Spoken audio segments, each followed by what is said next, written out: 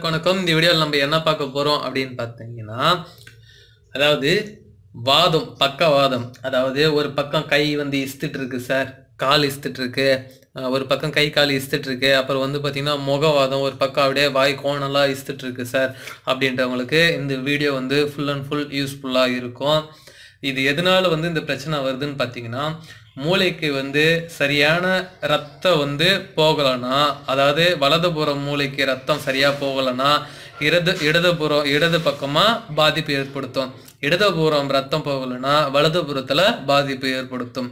இதுதான் வந்து பிரச்சனை. அதாவது ரத்த ஓட்டம் சரியாக இல்லை. அப்புறம் வந்து புகை போதை இந்த மாதிரி தவறான பழக்கங்களுக்கு அடிமை இருந்தாலும் இந்த மாதிரி பிரச்சனைகளுக்கு வந்து ஏற்படும். இதுக்கு தேவையான பொருள் என்னென்னு சொல்லிடுறேன். மெயின் இன்க்ரீடியன்ட் வந்து பார்த்திங்கன்னா நல்லெண்ணெய். சரிங்களா?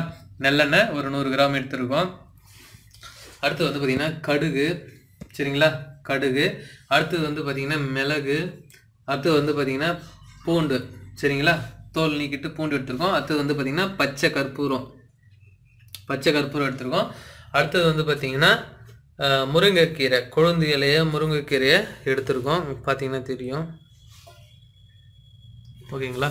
அடுத்தது வந்து பார்த்தீங்கன்னா முடக்கத்தான் முடக்கத்தான் இலை. இது வந்து நார்மலாக மார்க்கெட்லேயே கிடைக்கக்கூடியது தான் இங்கே பார்க்குறது எல்லாமே ஈஸியாக அவைலபிளாக கிடைக்கக்கூடியது தான் இதை வச்சு நம்ம எப்படி வந்து ஒரு மூலிகையாக ரெடி பண்ண போகிறோம் அப்படின்றது தான் பார்க்க போகிறோம் இந்த வீடியோவில்.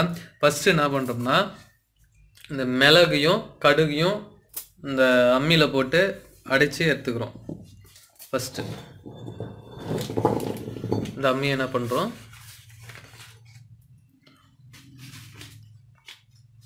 அம்மியை அம்மியில் மிளகுல போட்டு அரைச்சி எடுக்கணும். இப்போ அது கூட கடுகு கொஞ்சம். ஓகே.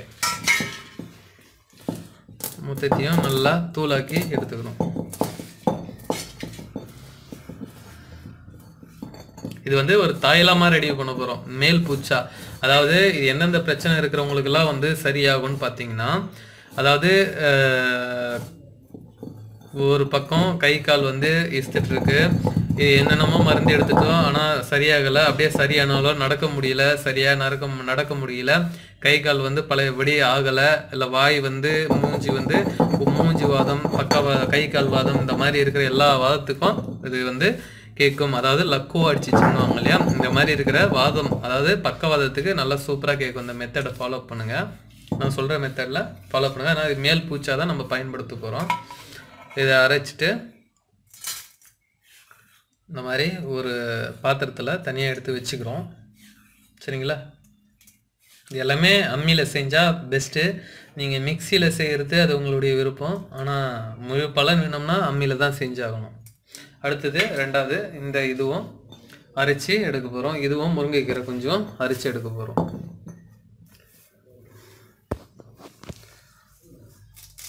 விழுதாக உருவி இந்த மாதிரி.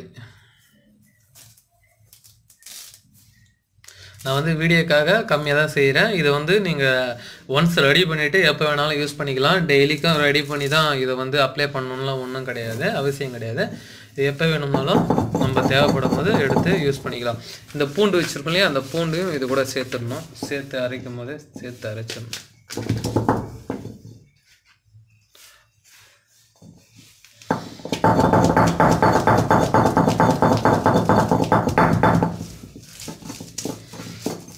இது வந்து எப்பேற்பட்ட வாதமாக இருந்தாலும் சரி நல்ல ஒரு பலன் தரக்கூடியது தான் இது வந்து தைலமாக ரெடி பண்ண போகிறோம் இது வந்து மேல் பூச்சு அதாவது எங்கெங்கெல்லாம் நம்மளுக்கு வந்து கை கால் வந்து வரலையோ அந்த இடத்துல நம்ம பூசினா போதும். நல்ல ஒரு ரிசல்ட்டு நாற்பத்தெட்டு நாளில் வந்து முழுமையாக குணம் அடையலாம். அந்த அளவுக்கு இது ஒரு பலன் தரக்கூடியது தான் கொஞ்சம் கொஞ்சமாக சரியாயிடும். இது கண்டினியூவாக பண்ணும்போது அந்த பிரச்சனையே இல்லாத அளவுக்கு நம்ம நார்மல் ஆகிடலாம் ஓகே இப்போ இப்போ அரைச்சாச்சு.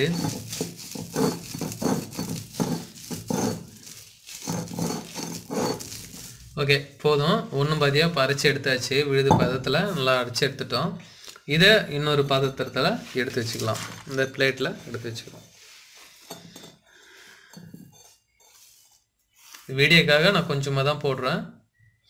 உங்களுக்கு எவ்வளோ தேவையோ நீங்கள் உங்களுக்கு அளவுக்கு ஏற்ற மாதிரி ரெடி பண்ணிக்கோங்க. அதாவது நான் அளவு சொல்லிடுறேன் அதுக்கேற்ற மாதிரி நீங்கள் பண்ணுங்கள் நூறு கிராம் நல்லெண்ணெய் எடுக்கிறீங்கன்னா ஐம்பது கிராம் கடுகு ஐம்பது கிராம் மிளகு ஒரு பத்து பல்லு பூண்டு அதுக்கப்புறம் வந்து பார்த்தீங்கன்னா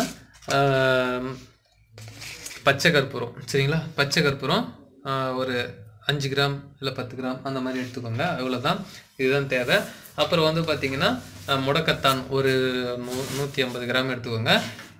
அதுக்கப்புறம் கீரை முருங்கைக்கீரை ஒரு நூற்றி ஐம்பது கிராம் எடுத்துக்கோங்க. இதை மட்டும் வச்சு நம்ம ரெடி பண்ணவே போதுமானது. இப்போ இது எப்படி செய்முறையாக செய்கிறது அப்படின்றத பார்த்துடலாம் வாங்க. இந்த மாதிரி இந்த மெத்தடில் மட்டும் நீங்கள் செஞ்சிங்கனாவே போதும். நல்ல ஒரு ரிசல்ட் இருக்கும். மறக்காமல் இந்த மாதிரி பண்ணுங்கள் பண்ணி செய்யுங்க செஞ்சு பாருங்கள் ஹண்ட்ரட் பர்சன்ட் ரிசல்ட்டாக இருக்கும். மன்னிக்கணும் எல்லாரும். வீடியோ எடுத்துட்டு இருக்கும்போது வந்து கேமரா வந்து கொஞ்சம் வந்து எரர் ஆயிடுச்சு. அதனால நம்ம செய்முறையாக செய்ய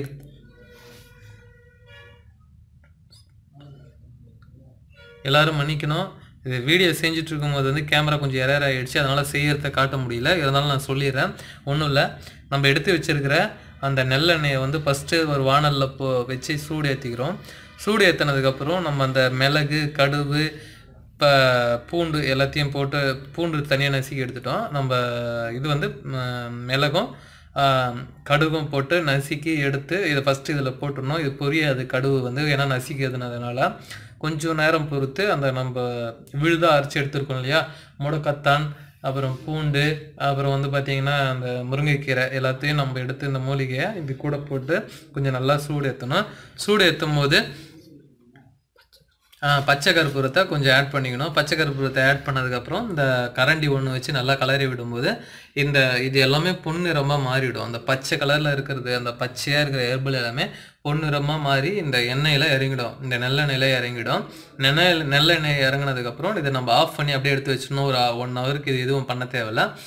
நல்லா ஆறுனதுக்கப்புறம் ஒன் ஹவர் பொறுத்து இது ஒரு ஃபில்டரை வச்சு ஒரு வடிகட்டத்தை ஏதோ ஒரு டீ வடிகட்டத்தோ இல்லை காஃபி வடிகட்டோ ஏதோ காஃபி வடிகட்ட மாட்டோம் டீ வடிகட்டும் இல்லையா?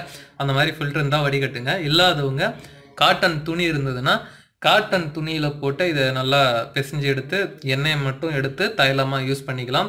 எங்கெங்கெல்லாம் கை கால் விளங்காமல் இருக்கோ அது மேலே அப்ளை பண்ணிங்கன்னா ஒரு நாற்பத்தெட்டு நாள் கண்டினியூவாக பண்ணும்போது எப்பேற்பட்ட வாதமாக இருந்தாலும் சரியாயிடும் பக்கவாதமாக இருந்தாலும். அதாவது வாதத்தில் நிறைய வாதம் இருக்குது பக்கவாதம் அதாவது கை கால் விலங்குல ஒரு பக்கம் அது முகவாதம் இருக்குது அப்படின்றவங்களுக்கு வாய் கோணலாக இருக்குது முகவாதம்னா இந்த மாதிரி இருக்கிறவங்களாம் நல்லா ஒரு ரிசல்ட்டாக இருக்கும்.